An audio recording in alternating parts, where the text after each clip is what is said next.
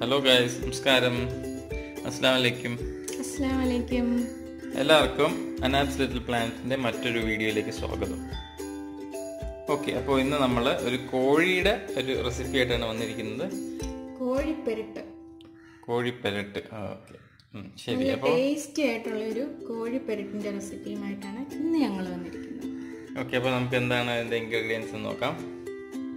ആദ്യം chicken kilo എടുത്തിട്ടുണ്ട്. ഒരു കിലോ ചിക്കൻ പിന്നെ അതിനാവശ്യമായിട്ട് ഒരു ടേബിൾ സ്പൂൺ മുളക് പൊടി ഒരു ടേബിൾ സ്പൂൺ മീറ്റ് മസാല പിന്നെ ഒരു അര ടീസ്പൂൺ ഗരം മസാല അര ടീസ്പൂൺ പെപ്പർ പൗഡർ അര ടീസ്പൂൺ മഞ്ഞൾപ്പൊടി ഒരു ടീസ്പൂൺ വലിയ ജീരകം പൊടിച്ചത്. പിന്നെ അതുപോലെ ഒരു തണ്ട് മല്ലിയില അഞ്ച് വെളുത്തുള്ളി ആറ് ചുവന്നുള്ളി ഒരു ചെറിയ കഷ്ണം ഇഞ്ചി ഒരു ഹാഫ് ലൈമിന്റെ ജ്യൂസ് എടുത്തിട്ടുണ്ട്. അപ്പോൾ ഇനി നമുക്ക് ബാക്ക് ടു നെക്സ്റ്റ് സ്റ്റേജ് ഇനി നമുക്ക് ഇതെല്ലാം കൂടെ ബ്ലെൻഡ് ചെയ്തെടുക്കാം. നല്ല പേസ്റ്റ് ആക്കി എടുക്കണം. നമ്മൾ ബ്ലെൻഡ് ചെയ്ത് വരുമ്പോൾ കാണാമല്ലോ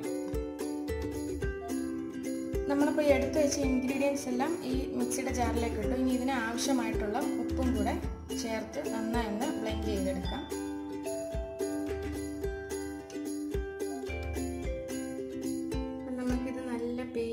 കിട്ടിയിട്ടുണ്ട്. ഇനി നമുക്കിത് ഈ ചിക്കനിലേക്കൊന്ന് അപ്ലൈ ചെയ്ത് കൊടുക്കണം.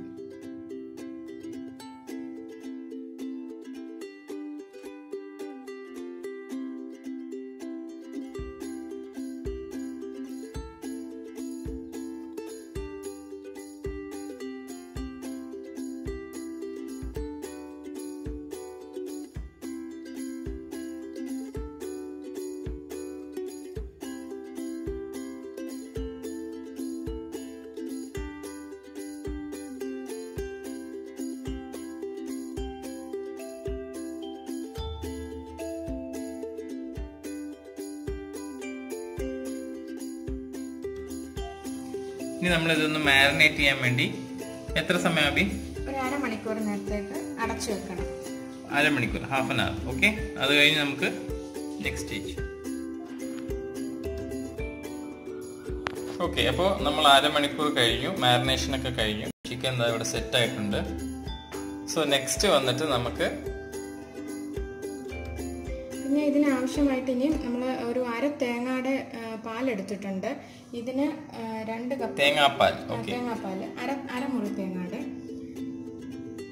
ഇതിന് രണ്ട് കപ്പ് വെള്ളം ഒഴിച്ചാണ് ഞാനത് അരച്ചെടുത്തത്. പിന്നെ കുറച്ച് കറിവേപ്പിലയും കൂടെ നമുക്ക് ആവശ്യമായിട്ടുണ്ട്. ഓക്കെ. അപ്പോൾ ചൂടായ പാനിലേക്ക് നമുക്ക് ചിക്കൻ പീസസ് ഒക്കെ ഒന്ന് ഇട്ട് കൊടുക്കാം.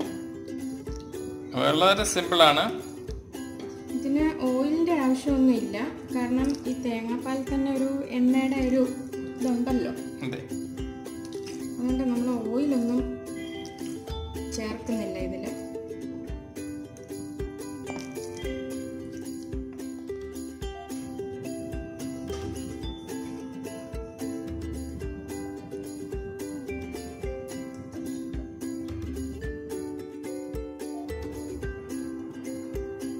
ഓക്കെ അപ്പോൾ നമുക്ക് തേങ്ങാപ്പാൽ ഇതിലേക്ക് പതുക്കെ ഒഴിച്ചു കൊടുക്കാം.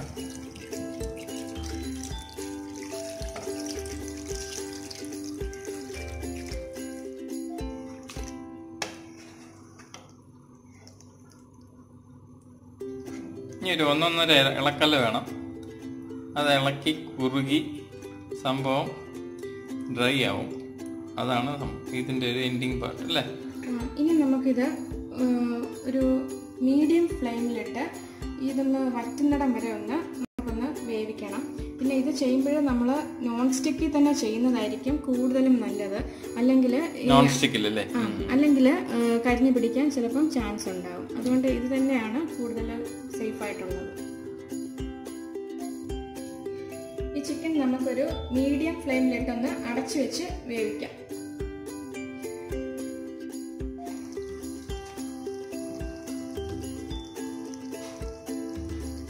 ഏകദേശം നമ്മുടെ ചിക്കനൊക്കെ ഒന്ന് പകുതി വേവായിട്ടുണ്ട്. ഇനി നമുക്കിതിലേക്ക് കുറച്ച് കറിവേപ്പിലയും കൂടെ ഒന്ന് ചേർത്ത് കൊടുക്കാം.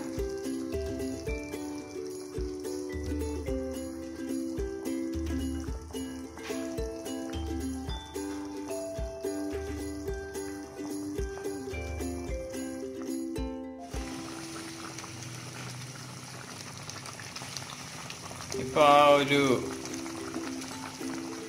വെളിച്ചെണ്ണ വെളിച്ചെണ്ണ എന്ന് ആ തേങ്ങാപ്പാലിന്റെ ഒക്കെ സ്മെല്ലും എണ്ണയൊക്കെ മേളിലോട്ട് നമുക്ക് കാണാൻ പറ്റുന്നുണ്ട്. നല്ല പറഞ്ഞറിയിക്കാൻ പറ്റാത്ത നല്ല ഒരു ഫ്രേഗ്രൻസ് ആണ് ഒരു അറോമയാണ് ഇതും പുലാവ് മാത്രം മതി നമുക്ക് ഒരു മീൽ കഴിക്കാനായിട്ട്. So the moment of truth ഇതാ നമ്മളുടെ പെരളൻ റെഡി ആയിട്ടുണ്ട്. ഇങ്ങനെ ഡ്രൈ ആയിക്കൊണ്ടിരിക്കുകയാണ്. കുറച്ചും കൂടെ ഒന്ന് ഡ്രൈ ആകണം കണ്ടോ നമ്മൾ നേരത്തെ ഇട്ട ചിക്കന്റെ അരഭാഗം മാറിക്കഴിഞ്ഞു. ഇപ്പോൾ എല്ലാം സെറ്റായി. നല്ലൊരു സ്മെല്ല് വരുന്നുണ്ട്. കറിവേപ്പിലയുടെയും തേങ്ങാപ്പാലിന്റെ ആ അതിൽ നിന്ന് തെളിഞ്ഞ ആ വെളിച്ചെണ്ണയുടെ ഒക്കെ ഒരു സ്മെല്ല് വരുന്നുണ്ട്. അതെ അതെ സോ ഇനി നമുക്ക് പ്രസന്റേഷനിലോട്ട് നീങ്ങാം. കുറച്ചുകൂടി ഒന്ന് ഡ്രൈ ആവണം. ഇച്ചിരി കൂടി.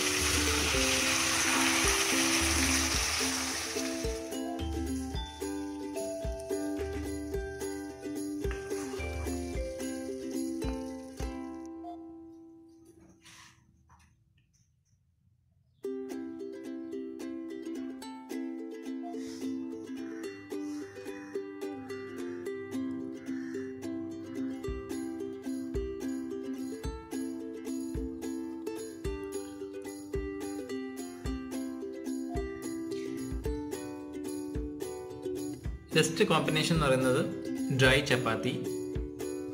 പിന്നെ നമുക്ക് പുലാവ് ഫ്രൈഡ് റൈസ് ഇടിയപ്പം അരിപ്പത്തിരി. ഇടിയപ്പം അരിപ്പത്തിരി. പിന്നെ ബട്ടർ നാൻ അങ്ങനെ കുറേ ഉണ്ട് ഇതിന്റെ കൂടെ ലൈനപ്പ് ചെയ്യാൻ. സോ എല്ലാം ഇതിന്റെ കൂടെ നല്ല കോമ്പിനേഷൻ ആണ്. ഈവൻ നമുക്ക് ബ്രെഡ് പോലും യൂസ് ചെയ്യാം ഇതിന്റെ കൂടെ ഓക്കെ സോ എല്ലാവരും ട്രൈ ചെയ്ത് നോക്കുക.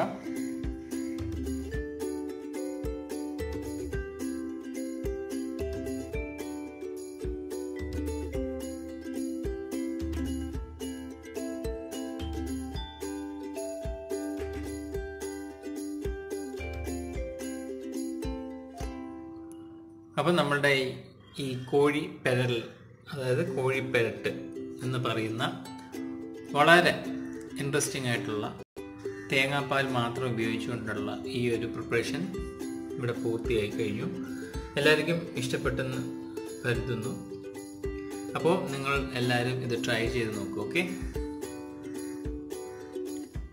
വേറെ പുതിയൊരു നല്ലൊരു റെസിപ്പിയുമായി വരുന്നവരിക്കും It's Anna Smiling and Abi signing off from Anna's Little Planet.